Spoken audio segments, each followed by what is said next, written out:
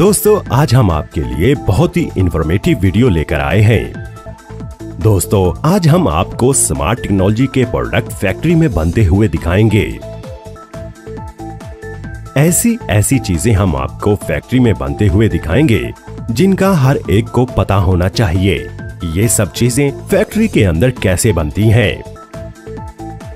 दोस्तों, हम बहुत ही ज़्यादा मेहनत करके वीडियो बनाते हैं। इसीलिए हमारी मेहनत का फल आपका वीडियो को लाइक करना और वीडियो को शुरू से लेकर आखिर तक देखना है। तो चलिए नंबर वन पर दूरबीनी करते हैं, स्मार्ट मोबाइल मैन्युफैक्चरिंग प्रोसेस से। दोस्तों, आज के दौर में मोबाइल हर इंसान की ज़रूरत बन चुका है। बिना मोबाइल के इंसान की ज़िंदगी अब अधूरी लगती है। तो इसीलिए दोस्तों, आप जिस स्मार्ट मोबाइल फ़ोन को चलाते हैं, वो फैक्ट्री में कैसे बनता है, ये सब कुछ जानते हैं आसान तरीके और आसान अल्फाज में, जिससे हर कोई अच्छी तरह से समझ सके। दोस्तों फैक्ट्री के अंदर मोबाइल बनाने के लिए सबसे पहले मोबाइल की बॉडी को तैयार किया जाता है। मोबाइल की बॉडी को तैयार करने के लिए सबसे पहले एक एल्यूमिनियम की बड़ी शीट को इस मशीन में रखकर मोबाइल के साइज़ के मुताबिक शीट के छोटे छोटे पीस काट लिए जाते हैं। फिर इनको जहाँ जहाँ से काटना, सुराख करना या स्क्रू लगाने होते हैं वहाँ वहाँ से इस मशीन की मदद से मोबाइल की इस बॉडी को काटा और सुराख किए जाते हैं, जहाँ एक ड्रिल मशीन बॉडी में स्क्रू होल बना रही है। मोबाइल फ़ोन को अच्छी लुक देने के लिए एक सीएनसी मशीन की मदद से इसकी बॉडी को अच्छी तरह से पॉलिश कर लिया जाता है।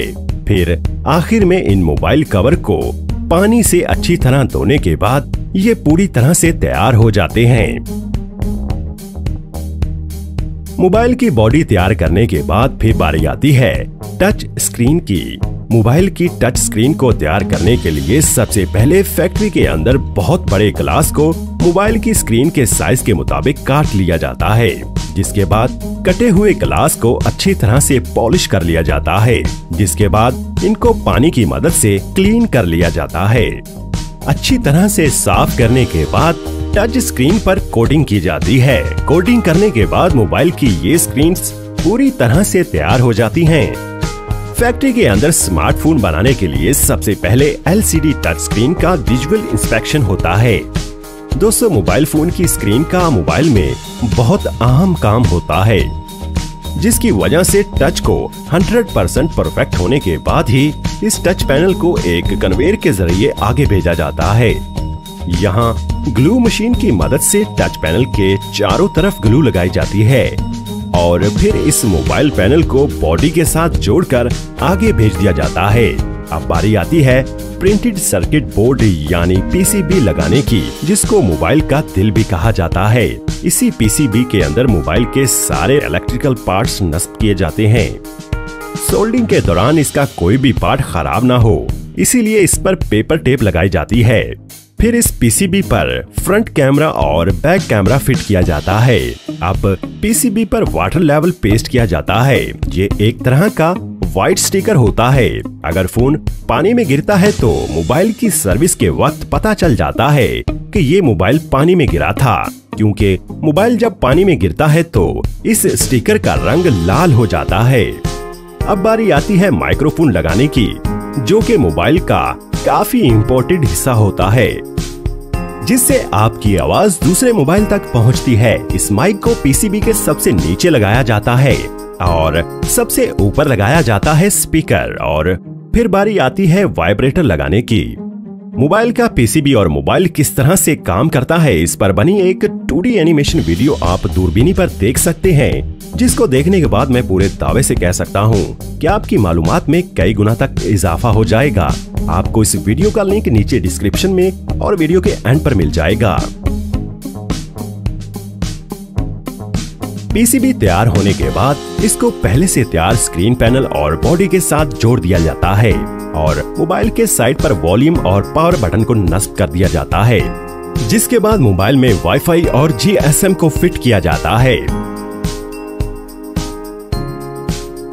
जिसके बाद बारी आती है, इसके कैमरे पर स्टिकर लगाने की। अब बारी आती है मोबाइल फ़ोन की टेस्टिंग की। सबसे पहले रेडियो फ्रिक्वेंसी टेस्ट की जाती है। दोस्तों, रेडियो फ्रीक्वेंसी की मदद से हम मोबाइल से बात कर पाते हैं। ये किस तरह से काम करती है, इस पर भी आप एक तफसीली वीडियो देख सकते हैं, जिसका मैंने आपसे पहले ज़िक्र किया है। लिंक डिस्क्रिप्शन और वीडियो के एंड पर मिल जाएगा। रेडियो फ्रिक्वेंसी की टेस्टिंग ओके होने के बाद फिर मोबाइल का टच टेस्ट किया जाता है। ये टेस्ट पास होने के बाद मोबाइल की screen, mic, speaker, gravity, sensor, front camera, back camera और फ्लैश लाइट इन सब चीज़ों को अलग अलग टेस्ट किया जाता है।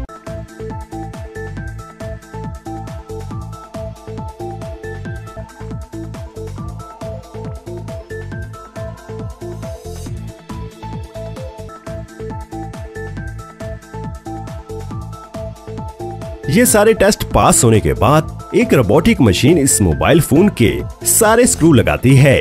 मोबाइल फ़ोन के सारे पेज लगाने के बाद आपका स्मार्टफ़ोन बनकर तैयार हो जाता है। अब बारी आती है इसको पैक करने की। पैकेजिंग लाइन पर असेंबल मोबाइल पर इंटरनेशनल मोबाइल इक्विपमेंट आइडेंटिटी यानी आईएमईआई नंबर लगाया जाता है। फिर एक एम्प्लॉय मोबाइल के बैक कवर लगाकर मोबाइल की असेंबलिंग कंप्लीट करता है। मोबाइल की पैकेजिंग करने के बाद मोबाइल को मार्केट में सेल होने के लिए भेज दिया जाता है। क्या आप जानते हैं कि ये फैक्ट्री हर साल तीन करोड़ मोबाइल बनाती है? Mobile charger factory making. दोस्तों, मोबाइल को पावर देने के लिए मोबाइल को चार्ज करना बहुत ज़रूरी होता है। तो चलिए जानते हैं कि इस मोबाइल चार्जर को कैसे बनाया जाता है। दोस्तों, मोबाइल चार्जर बनाने के लिए सबसे पहले चार्जर की बॉडी को तैयार कर लिया जाता है, जिसके लिए खाम, रॉ मटेरियल, प्लास्टिक के दाने एच e और उमर को एक मेल्टिंग मशीन में डाला जाता है। जिससे ये मटेरियल इस मशीन के अंदर एक पेस्ट की शक्ल इख्तियार कर लेता है और इस मशीन के साथ लगी एक मोल्डिंग मशीन जो के इस पेस्ट को चार्जर की बॉडी की शेप देकर बाहर निकालती रहती है। इस तरह से चार्जर की बॉडी को पहले तैयार कर लिया जाता है। फिर इस चार्जर की बॉडी के अंदर करंट के लिए प्लग को लगाया जाता है। जिसके बाद चार्जर के सबसे इम्पोर्टेंट पार्ट इसकी सर्किट को बनाया जाता है। यहाँ इस मशीन में एक प्लेन इलेक्ट्रिकल प्लेट को रखा जाता है। ये मशीन इस इलेक्ट्रिकल प्लेट पर सर्किट की सारी वायर्स को छाप कर एक कन्वेयर के ज़रिए इस सर्किट प्लेट को एक दूसरी मशीन में भेज देती है। जहाँ पर ये मशीन इन सभी वायर्स को इस सर्किट बोर्ड पर बड़ी ही स्पीड से तैयार कर देती है। और फिर ये मशीन चार्जर की सर्किट को पूरी तरह से तैयार करने के बाद एक कन्वेयर बेल्ट के ज़रिए आगे भेज देती है।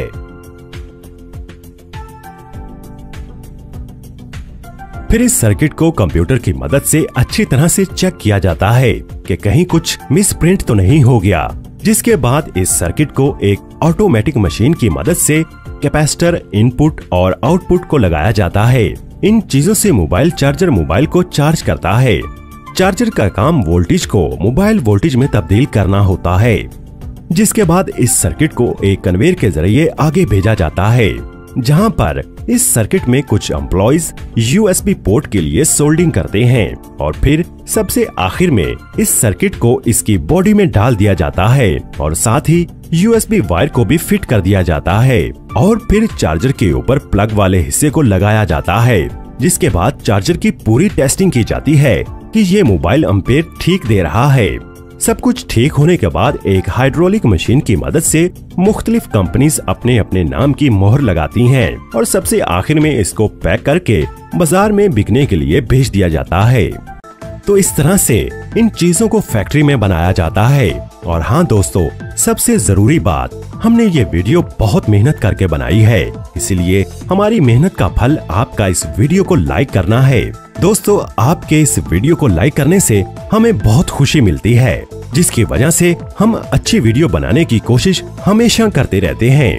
तो दोस्तों, वीडियो को लाइक करें शेयर करें और चैनल को सब्सक्राइब करके बेल आइकन को लाजमी प्रेस कर दीजिएगा। आपका कीमती वक्त देने के लिए बेहद शुक्रिया।